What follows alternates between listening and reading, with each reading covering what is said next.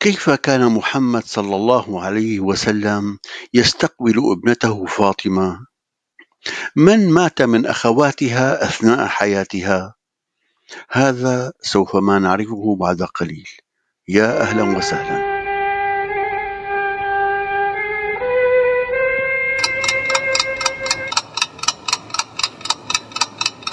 تحية الإفطار مع جدو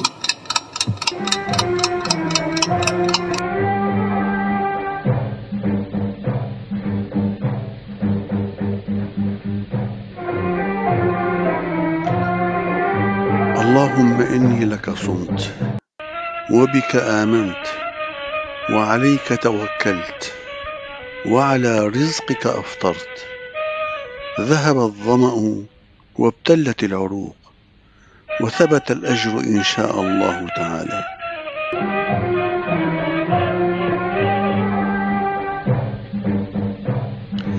كانت للسيدة فاطمة رضي الله عنها العديد من الصفات التي تميزت بها عن غيرها وفيما يأتي بيان البعض منها. إنها أشبه الناس برسول الله. كانت فاطمة الزهراء رضي الله عنها أشبه الناس سمتا وهديا ودلا برسول الله صلى الله عليه وسلم كما أخبرت بذلك عائشة رضي الله عنها فقالت ما رأيت أحدا كان أشبه سمتا وهديا ودلا برسول الله صلى الله عليه وسلم من فاطمة كرم الله وجهها. كانت إذا دخلت عليه قام إليها فأخذ بيدها وقبلها وأجلسها في مجلسه.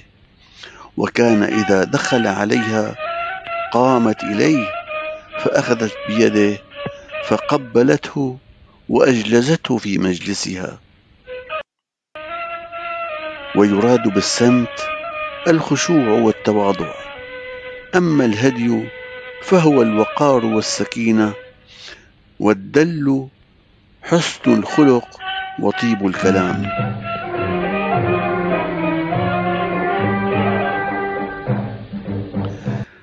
كانت فاطمة أكثر الناس صبرا. وذلك على الرغم من عظم المصائب التي مرت بها في حياتها. وذلك وفاة أمها في حياتها عندما كانت صغيرة. وذلك في مكة المكرمة قبل الهجرة إلى المدينة. وفقدها لأخواتها حيث فقد في حياتها رقية فأم كلثوم فزينب. وكذلك صعوبة الحياة التي كانت تعيشها. يقول علي بن أبي طالب رضي الله عنه في ذلك لقد تزوجت فاطمة وما لي ولها فراش غير جلد كبش ننام عليه بالليل ونعلف عليه الناضح بالنهار وما لي ولها خادم غيرها. وكان قد أرشدهما الرسول عليه الصلاة والسلام إلى ما يغنيهما عن مر الحياة ومشقتها فقال لهما ألا أدلكما على خير مما سألتما؟ إذا أخذتما مضاجعكما أو أويتما إلى فراشكما فسبحا ثلاثا وثلاثين واحمدا ثلاثا وثلاثين وكبرا أربعا وثلاثين فهو خير لكما من خادم.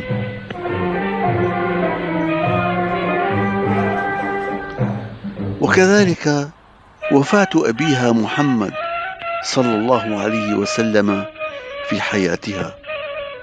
وفي تلك المصيبة يقول أنس بن مالك رضي الله عنه لما ثقل النبي صلى الله عليه وسلم جعل يتغشاه فقالت فاطمة عليه السلام وكرب أباه؟ فقال لها ليس على أبيك كرب بعد اليوم. فلما مات قالت يا أبتاه. أجاب ربا دعاه. يا أبتاه من جنة الفردوس مأواه. يا أبتاه إلى جبريل ننعاه. فلما دفن قالت فاطمة عليه السلام يا أنس أطابت أنفسكم أن تحثوا على رسول الله صلى الله عليه وسلم التراب. إلى هنا أصدقائي ينتهي حديث هذا اليوم. ولكن نتساءل على ماذا كان علي وفاطمة ينامان؟ وماذا قالت فاطمة عند وفاة أبيها محمد صلى الله عليه وسلم؟ اكتبوا اكتبوا لنا رأيكم في التعليقات. أما غدا فسوف نتحدث عن منزلة فاطمة في الإسلام. والسلام عليكم ورحمة الله وبركاته.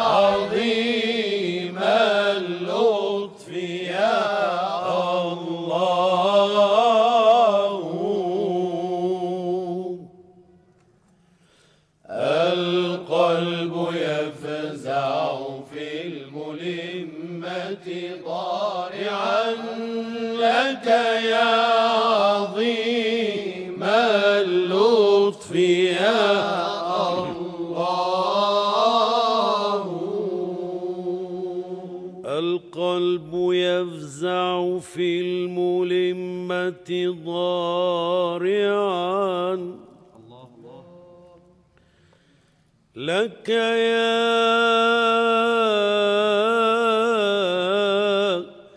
يا عظيم اللطف